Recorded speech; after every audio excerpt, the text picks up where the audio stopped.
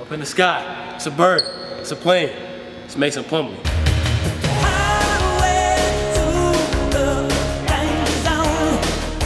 All right, here at Duke, Coach Wojo likes us big men to work on our finishing.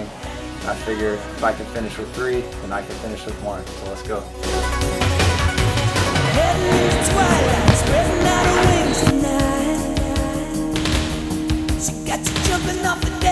Shoving into overdrive.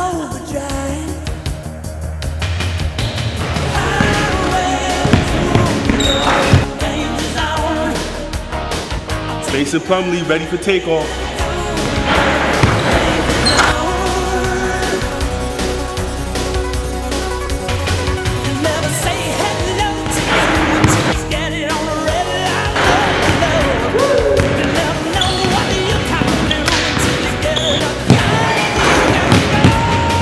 Plumlee Brothers Dunking Company is open for business. Up in the sky, it's a bird, it's a plane, it's Mason Plumlee.